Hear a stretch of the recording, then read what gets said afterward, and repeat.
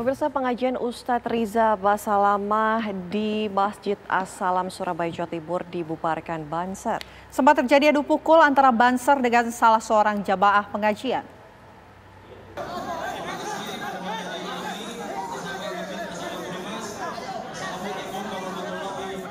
Kericuhan terjadi saat pembubaran pengajian Ustadz Riza Basalamah di Masjid As-Salam Surabaya, Jawa Timur oleh Banser dan Gerakan Pemuda Ansor Gunung Anyar, Surabaya. Sejumlah anggota Banser dan GP Ansor merangsek masuk ke dalam masjid.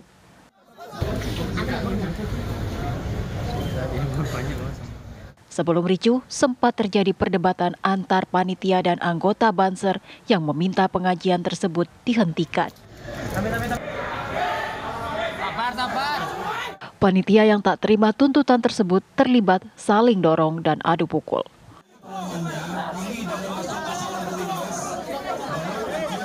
Beruntung kericuhan tak berlangsung lama setelah diredam petugas kepolisian yang turut berjaga. GP Ansor dan Banser menolak pengajian Ustadz Riza Basalamah yang dinilai provokatif dan mengandung ujaran kebencian. Uh, kami PAC GP Ansor Kecamatan Gunung Anyar uh, secara tegas menolak apa pun dan siapa pun yang bersifat provokatif, ujaran kebencian, serta merusak keharmonisan wilayah kami. Dan satu kata dari kami, lawan. Assalamualaikum. Sementara itu Ustadz Riza Basalamah melalui media sosialnya menyampaikan permintaan maaf atas ketidaknyamanan yang terjadi di Masjid Asalam.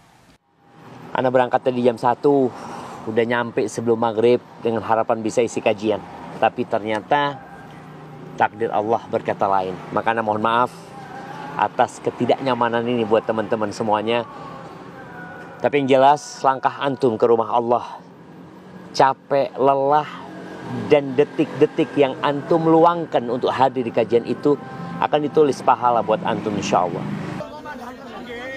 Meski suasana berangsur kondusif, namun sejumlah aparat kepolisian tetap disiagakan untuk mencegah hal yang tak diinginkan terjadi.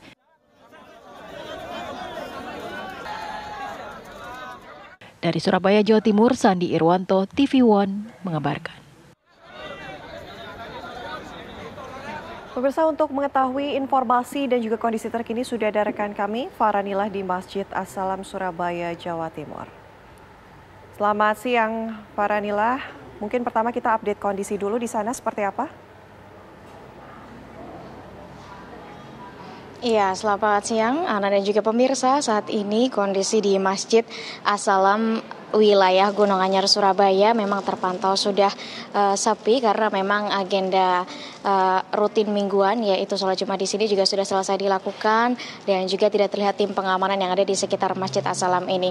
Dan saya akan ajak Anda untuk berbincang langsung pemirsa dengan Dewan uh, Pembina Yayasan Masjid As-Salam dan juga sekaligus bersama dengan Ketua Yayasan Masjid As-Salam terkait kejadian kericuhan yang kemarin malam terjadi hingga terjadi ada aksi saling dorong. Assalamualaikum Pak Ibnu dan juga Pak Iskandar. Waalaikumsalam warahmatullahi Ya, Pak kalau boleh dipaparkan kemarin ini pengajian yang turut mengundang Ustadz Syafi Riza Basamalah ini siapakah penyelenggaranya? Apakah dari masjid, yayasan atau seperti apa?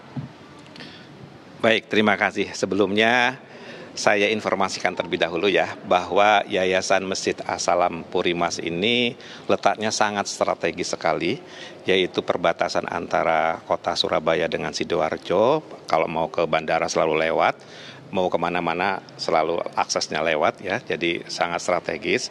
Sehingga visi dan misi daripada uh, Masjid Asalam ini adalah untuk pusat kajian uh, Surabaya Timur sehingga di masjid ini memang secara rutin menghadirkan ustadz-ustadz, ulama-ulama, para kiai untuk memberikan kajian. Bahkan setiap hari di masjid ini ada uh, kajian yang diisi oleh beberapa unsur ya. Jadi tidak hanya dari kelompok NU tetapi juga Muhammadiyah, mungkin dari Salafi dan sebagainya. Intinya adalah kajian yang diisi oleh para ulama, ustadz uh, dari uh, faham dari uh, ahli sunnah wal jamaah. Saya kira mungkin itu.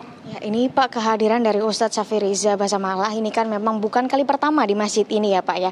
Namun kemarin memang terjadi kericuhan. Kalau boleh dipaparkan bagaimana kronologinya dan penyebab atau alasan pe penolakan dari Ustadz uh, Basamalah ini seperti apa? Sebenarnya eh, kajian yang diisi oleh Ustadz Basalamah tadi malam itu sebenarnya untuk yang keenam kalinya ya. Jadi selama lima kali sudah eh, kita laksanakan dengan menghadirkan beberapa ustadz, di antaranya Ustadz Safik Basalamah, di antara Firanda ya Ustadz eh, Safik Basalamah dan tidak ada eh, persoalan eh, di masjid ini. Hanya mungkin eh, malam tadi itu ada sedikit gesekan ya Uh, mungkin ini dimulai dengan adanya surat yang kami terima dari teman-teman Banser ya yang keberatan kalau diadakan di masjid ini menghadirkan Ustadz Safik Basalama. Nah dengan keberatan itu kami mengundang ya dari eh, Kapolsek, kemudian dari unsur eh, NU, kemudian dari eh, Banser sendiri ya ada beberapa yang hadir pada saat itu juga tokoh-tokoh uh, ulama dari NU ya yang intinya adalah kami tidak keberatan kalau uh, kajian yang akan dilaksanakan itu uh, ditunda atau ditiadakan ya karena atas dasar permintaan memenuhi daripada teman-teman uh, dari Banser. Nah, kemudian kami sudah mengundang ke para jamaah melalui medsos. Jadi antara kami me menyepakati untuk me membatalkan menunda itu dengan kami sudah mengundang karena waktunya hanya satu hari ya. Nah intinya malam tadi itu ada sebagian jamaah yang sudah tahu memang itu ditiadakan, nah, tapi ada juga yang mungkin dia tidak membaca uh, perkembangannya bahwa itu uh, di Masjid Asalam tidak jadi gitu loh. Nah karena itu tadi uh, mereka ada yang datang, namun juga dari teman-teman Banser juga datang dengan berpakaian seragam Banser ya. Kemudian eh, Banser menganggap loh kok Masjid Asalam tidak komitmen tetap jadi padahal Ustaz Safik itu tidak jadi datang ke Masjid Asalam Purimas. Baik, artinya ada salah paham antara jamaah ya Pak ya. Tapi kalau terkait dengan surat yang diajukan oleh Banser adanya tudingan alasan kenapa penolakan terjadi itu dengan beberapa hal salah satunya mencegah untuk uh, umat beragama ini terpecah belah dan lain sebagainya. Apakah benar? Saya kira uh, keberadaan Ustadz Safik Basalamah siapa yang tidak tahu ya. Beliau kan sering uh, ceramah di mana-mana kita bisa lihat di YouTube ya di di televisi. Kita tahulah sekelas Ustadz Safik Basalamah tidak seperti itu ya. Yang kami lihat ya. Tidak seperti itu berupaya seperti yang ditudingkan oleh Bansar tadi. Saya kira mungkin itu hanya kesalahpahaman saja. Kajiannya tentang apa Pak? Tentang apa yang ke mana ini ketua yayasan uh, mengenai Sebentar, baik, baik, baik. Ya. Terima kasih banyak Pak informasinya pada hari ini. Demikian Ana dan juga pemirsa informasi dari wilayah Masjid Asalampuri Mas Gunung Anyar, Surabaya. Saya kembalikan ke studio. Baik, terima kasih Farah Manila. Dari Farah, pemirsa kami ajak Anda untuk uh, mendengarkan respon dari Majelis Ulama Indonesia. Kami sudah tersambung secara virtual bersama dengan Kiai Haji M. Hasan Ubaidillah, Sekretaris MUI Jawa Timur. Assalamualaikum, selamat siang Ustadz. Waalaikumsalam warahmatullahi wabarakatuh. Oke. Siang, Mbak. Mungkin pertama-tama kami ingin minta tanggapannya terlebih dahulu Pak Kiai mengenai adanya uh, pembubaran pengajian tersebut. Ini seperti apa tanggapan dari MUI? Ya, kita ya di tengah situasi yang masih dalam pemilu pemilihan umum yang masih belum selesai, tentu semua pihak harus bisa menahan diri, tidak terprovokasi, jika terjadi hal hal yang bisa merusak kondusivitas pelaksanaan pemilihan umum walaupun penghitungan sudah selesai secara quick count tapi real countnya kan belum masih upaya-upaya yang lain dilakukan ini jangan sampai kemudian karena persoalan-persoalan kesalahpahaman komunikasi yang tidak uh, tersampaikan ini kemudian terjadi uh, konflik di masyarakat. Pak Kiai, kalau kita lihat kan ada salah satu isi surat dari Banser mengenai penghentian uh, ceramah tersebut adalah mengenai isinya yang mungkin tidak sesuai dengan garis besar Banser tersebut, Pak. Ini provokatif lah kita katakan. Ini seperti apa Pak MUI melihatnya, menilainya? Segala sesuatu itu kita harus memahami uh, kronologi kejadiannya dan latar belakangnya kami juga sangat memahami apa yang dilakukan oleh sahabat-sahabat Ansor, sahabat-sahabat Banter, itu tidak lepas dari track record dari Ustadz yang diundang. Dalam sejak digitalnya juga kita juga bisa menyaksikan bersama bagaimana ada yang eh, terkait dengan ujaran kebencian, hate speech, itu juga bisa kita lihat. Maka tentu yang arif menurut saya bagaimana penyelenggara itu bisa melakukan musyawarah komunikasi dengan sahabat-sahabat Ansor, Banser, sehingga hal-hal seperti ini tidak uh, terjadi, tidak perlu terjadi pada uh, situasi-situasi pemilu saat ini. Okay. Sehingga menurut saya apa yang sudah dilakukan berupa musyawarah melalui uh, aparat baik kelurahan, kemudian di sana ada polsek dan sahabat Banser maupun Eh, pelaksana panitia dari Masjid As-Salam yang ada kesepakatan itu, itu sudah langkah yang tepat sebenarnya.